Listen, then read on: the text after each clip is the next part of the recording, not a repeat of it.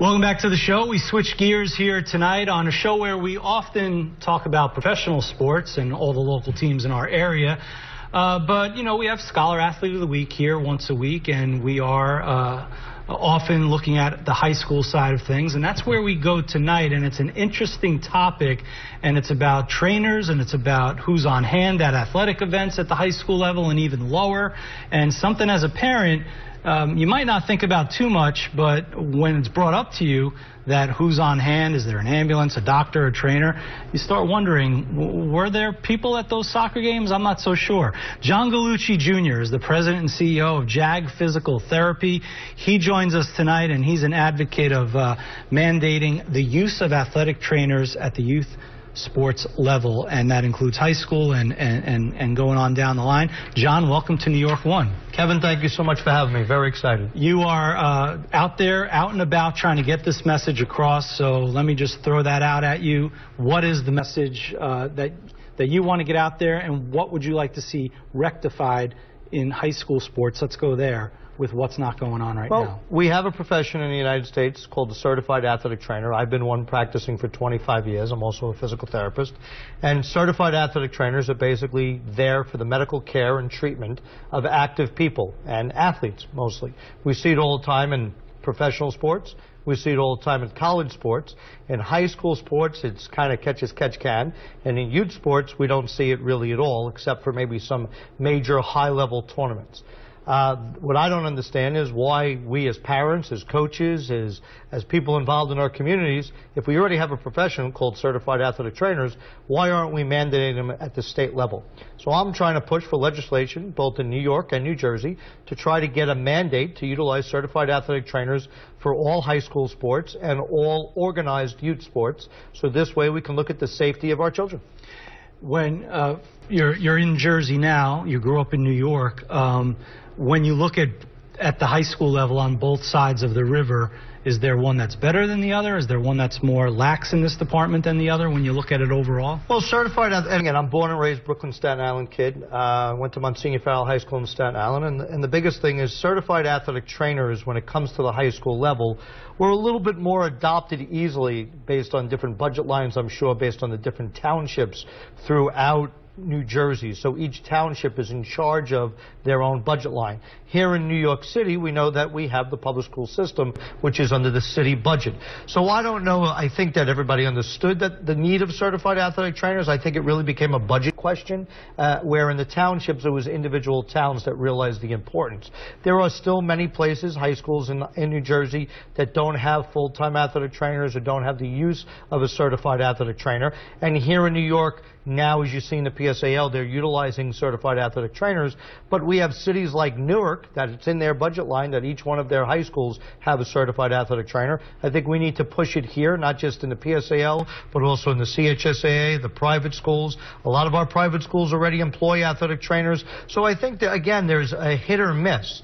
I think that the, our, our, our, legislators need to stop hit or miss because that hit or miss may may lose a life. So why not have the opportunity to have a certified athletic trainer at all events, or at least be within three minutes of, of an event, similar to what we did with the AED laws across the country. So if you need an AED within three minutes of a field, why can't we have a certified athletic trainer within two to three minutes? So as a campus in a high school, why can't we definitively make sure that there's somebody on site that understands athletes' injuries and illness? The other thing we could possibly do is mitigate some of these overuse injuries. If we mitigate overuse injuries, it's a lot better to have the kids out on the court, the ice, the field, than to have them in my offices at JAG Physical Therapy. I'd rather see kids out playing than have to go to the doctor three, four times a week and have to go in and out of emergency rooms if maybe having that educated certified athletic trainer on campus can get involved in the teaching of prevention of injuries, the teaching of hydration. You know how many injuries happen because of dehydration? I'm, I know you've covered different things throughout the,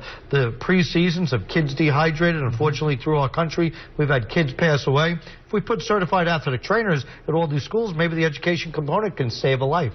And we all know the concussion, the concussion dilemmas. Right. And, and you know, I was talking to you earlier uh, my son goes to a parochial high school in New Jersey, and my daughter had gone there before, and in, in the middle of her sophomore junior year, a, a, trainer came on board. They had never had one there before, at least while my kids were at this high school. And uh, my son runs cross country, and a couple of weeks ago he said something was bothering him. And I said, "Well, why don't you go in and see the trainer?" He said, "Well, he left. Uh, he took another job somewhere." And now I realize there's no one at that school. So that uh, that is something I never thought of uh, you know, the guy being there one minute and then he's not there, and there's no mandate from the school that they have to go out and get somebody. And again, as you just said, there is no legislature that says there needs to be this. So the rush to replace that athletic trainer kind of gets put on the back burner. As I told you earlier today in our conversation, in New Jersey, there was a bunch of budget cuts several years ago. The first person to lose their job is the certified athletic trainer. So, you know, these are healthcare professionals trained to help active, healthy people mm. if they get injured. We already know all the concussion issues going on in our country right now. We talk about the return to play protocols. The CDC in our country has mandated, each New York and New Jersey has mandated return to play protocols. Well, who's in charge at the school to make sure this policy is really being implemented, being followed? Uh, we've had issues with kids passing away because they didn't get medical care appropriately in the amount of time. We've had kids with fractures that are basically picked up by coaches trying to help that possibly make the fracture or the dislocation worse.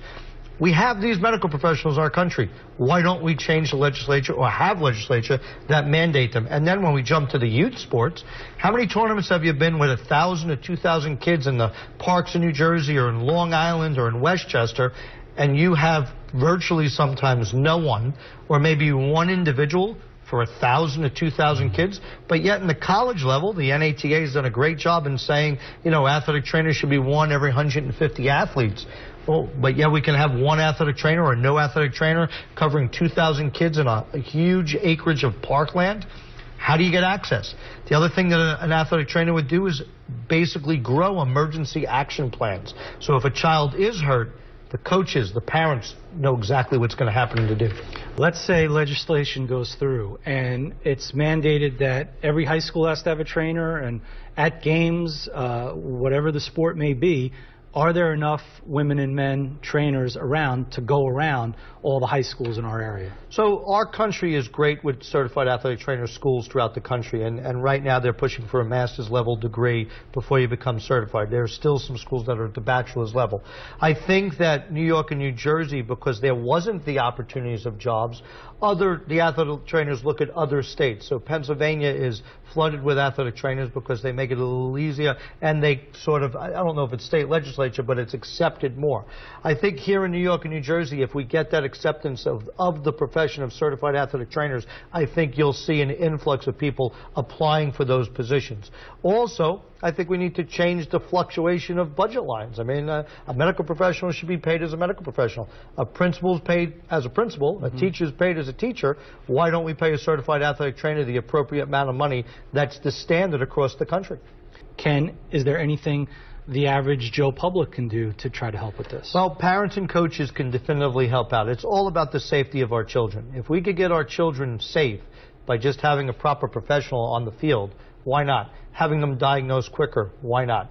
I honestly think that if you look at our state here in New York and New Jersey, we have the best opportunity because our legislators have already put in different types of laws for the safety of our children, from concussion to cardiac to, to, to the component in New Jersey. They have a supplement and steroid law. So we just have to get our legislators to take the next step. When you say, do I have people behind me? We've spoken to a bunch of legislators on both sides of the, of the river, and, and basically they're supportive. They're doing their investigative work right now. They're trying to get proposed uh, verbiage written in, in, in, in, possibly some sort of law to bring to table. And the goal is hopefully in the next two to three weeks we'll actually have something substantial on both sides of the river. We're pretty excited about that. Our next move is, again, certified athletic trainers definitively support their profession. The New York State Athletic Trainers Association and the Athletic Training Society in New Jersey are probably two of the strongest athletic training societies in our country. They've done an unbelievable job when it came to, comes down to education, when it comes down to prevention of injury. I think both associations are definitively going to support it unbelievably, but they want to see if they could get that legislative support. So I'm excited over the next two weeks to truly get that push to bring it to the next level. Well, we certainly, and I as a parent, parents, uh, certainly appreciate all the work you're doing. Uh, John Gallucci Jr., he is the president and CEO of JAG Physical Therapy, and again, uh, he's out there trying to uh, get legislature through uh, mandating the use of athletic trainers down at the youth level of sports. John, thanks for your good work, and thanks for stopping by. Thank you. Appreciate it.